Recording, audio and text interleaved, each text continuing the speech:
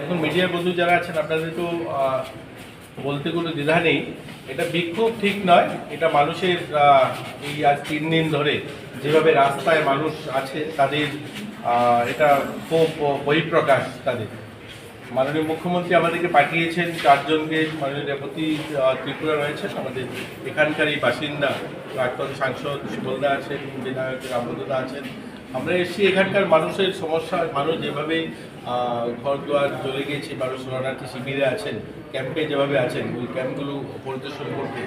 তো তাদের সঙ্গে কথা হয়েছে, দীর্ঘক্ষণ আমরা এখানে তাদের প্রতিনিধি যারা ছিল তাদের সঙ্গে কথা হয়েছে এবং তাদেরকে খুব তাড়াতাড়ি, দেখুন যেগুলো ঘটে গিয়েছে সেটার তো আর ফিরিয়ে দেওয়া সম্ভব নয়। যে বাড়িতে গাভী জ্বলে গিয়েছে, সেই গাভী তো আর ফিরিয়ে দেওয়া সম্ভব নয়। কিন্তু তারা যেন পুনরায় দাঁড়াতে পারে, পুনরায় তাদের বাড়িতে বসবাস শুরু করতে পারে। তার যা যা প্রয়োজনীয় ব্যবস্থা সরকার সেটা নেবে, মাননীয় মুখ্যমন্ত্রী নির্দেশ দিয়েছেন। কালকেও এখানকার জেলাশাসক এসছেন দেখেছেন, রেভিনিউ ডিপার্টমেন্টের এরা অ্যাসেসমেন্ট করছেন। তাদের যে আর্থিক সাহায্য, সেটা আমরা বলেছি, দুদিনের মধ্যে যেন তাদেরকে কমসে কম টোয়েন্টি ফাইভ পার্সেন্ট পয়সা যেন তাদেরকে দিয়ে দেওয়া হয়।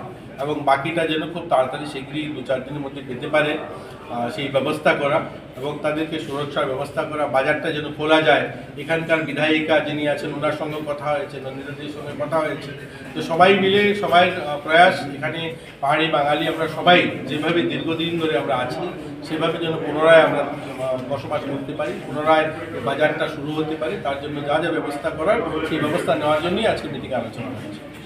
আমাদের ইচ্ছা ছিল আর একটু যাব, কিন্তু মানুষ দীর্ঘ সময়, দু, তিন দিন হয়েছে এই ঘটনা, তার জন্য সবাই খুব ক্ষিপ্ত এবং তারা অসহায় অবস্থার মধ্যে আছে। তারই বহিঃপ্রকাশ ছিল।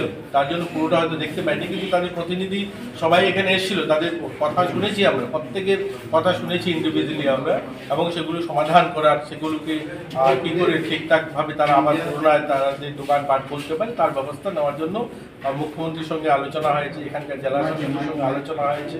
ওনারাও আশ্বস্ত দিয়েছেন, খুব শীঘ্রই সেগুলো পুনরায় শুরু হয়ে যাবে। সবাই যেন নিজেদেরকে ধৈর্য না হারিয়ে পেলে সবাই একটু সহনশীল হয়, এবং আমরা পাহাড়ি বাঙালিরা দীর্ঘদিন ধরে যে গন্ডাছড়ার একটা সুনাম গন্ডাছড়া শুধু গন্ডাছড়া নয় গন্ডাছড়া ত্রিপুরার একটা ঐতিহ্য।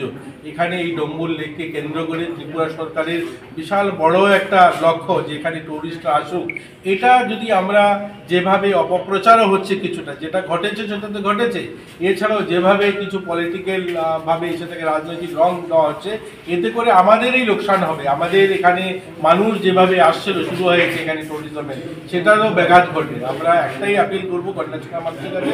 আমরা সবাই যেন সংযত হই, আমরা পুনরায় আবার নতুন করে যেন আমরা শুরু করতে পারি। আমাদের যারা দোকান বা পাট যারা নষ্ট হয়েছে, সেগুলো আমাদের সরকারের সাহায্য নিয়ে সেগুলো যেন আমরা খুলতে পারি এবং যারা যারা আতঙ্কিত রয়েছে তারা যেন আতঙ্ক থেকে বেরিয়ে আসে। এখানে প্রশাসনের উচ্চতর আধিকারিকরা, আপনারা জানেন, আইজি একজন এখানে তিন দিন ধরে রয়েছেন, নিজে এখানে থাকছেন।